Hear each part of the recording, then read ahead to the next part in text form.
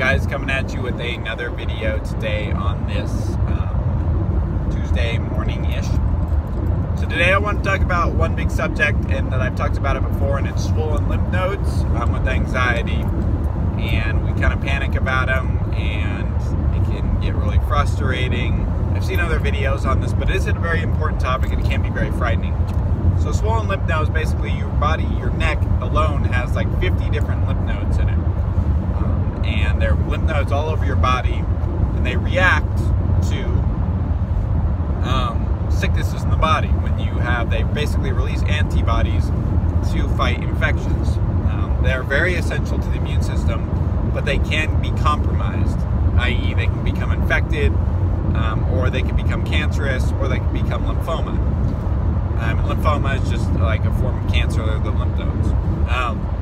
And so I had a swollen lymph node for around uh, five to six months that I had really noticed. This could have been swollen longer. That's constantly been here. So this side, the neck, it's about 1.2 centimeters long, which is fairly big based off of that kind of scale. Um, and I got a CT scan for it. Um, and I wanted to give you a perspective from someone to give you reassurance kind of thing, especially the people that have swollen lymph nodes. I know these can be scary kind of thing, and I know, you know, you want to get them checked out but I'm going to kind of give you things that I'm looking for from the, my appointment that I just had. I literally just had it.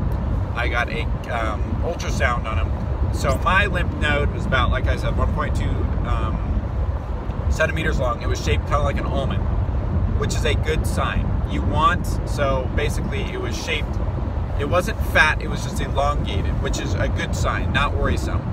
Lymph nodes that are worrisome and that can are typically fatter and rounder and they typically are around one centimeter long, but also one centimeter wide. Mine was about 0.4 centimeters long. So it was very, very thin in the elongated part. So that in and of itself was good reassurance because he said there's nothing worrisome, but things that you should be, be worried about if it does like progress or somehow, and I have to check it, you know, monthly kind of thing, see if it gets bigger and that's fine. But he's like, there's nothing, nothing here.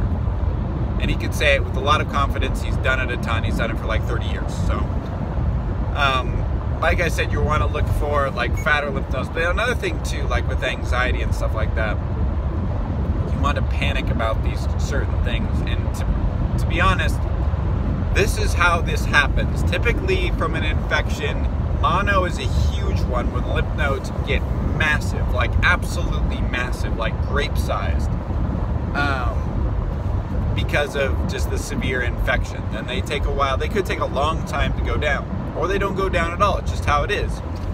Um, another thing, too, and I've done a lot of this, which makes a little bit of sense, is I've gotten a lot of dental work lately. Um, and dental work, basically, when they do cleaning and stuff like that, your mouth is extremely dirty. Makes sense. You stuff a lot of shit in there.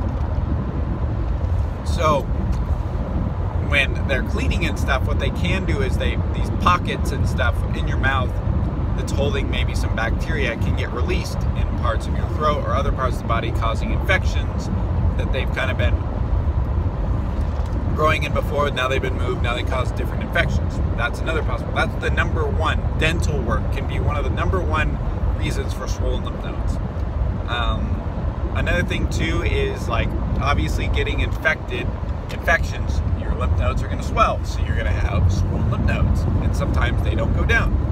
Um, in very, very rare, rare, cases, they can be cancerous. They can be lymphoma.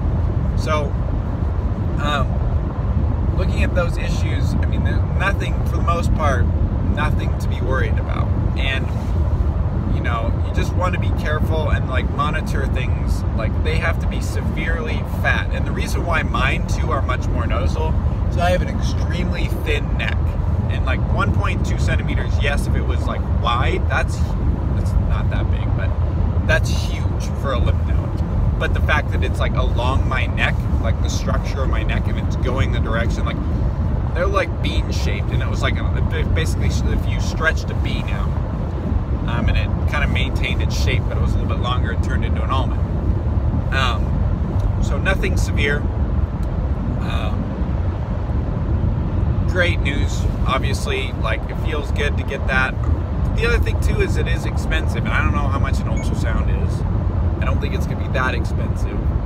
But I didn't get a biopsy. That would that would have been the next step. Um, and like I just I when I was sitting in there, I'm like, man, I am just so sick of going to the doctor. Like I, you just to a extent, like you just get so sick of going to the doctor, and that's just like if if if someday that I come to the conclusion like I can't even function, kind of thing, then I'll start going to the doctor. But to, to a certain extent, I've just I've gotten to the point where I'm just like it, the mind is now switched. It's like it's anxiety. All these things are just anxiety. Dry mouth, uh, swollen nodes, uh, uh, shortness of breath, uh, trouble swallowing, uh, tickling of the ear, tickling of the face, numbness in the face, uh, pressure, head pressure, tension in the forehead, all this kind of stuff in this facial region.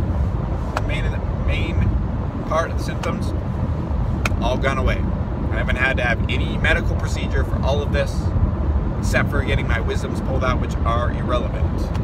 So, you know, when it really comes down to it, most of these things, and I just wanted to basically touch on lymph nodes and stuff like that. Lymph nodes can swell. They are good if they are swelling. If they stay swollen, they can become a problem, but they have to become really, really swollen. Um, and even then, sometimes, most of the time, it's not that much of a problem. But in this case, you know, totally fine. Throat looks great. Tongue looks great. Lymph nodes look fine. Good to go. So hope this is a good like reassurance video for all those people that are suffering from swollen lymph nodes. I know it can be a thing. And personally, I've read studies up on how it can come from anxiety. Now, lymph nodes swell because of reactions, but you know, it's it's our bodies. They're so complex. We don't know all the answers. So you know, got to take it one day at a time. Got to be a little bit happier because we know if you stick to the principles I talked about yesterday, you can live a much better, healthier life. So, hope you guys enjoy. Peace.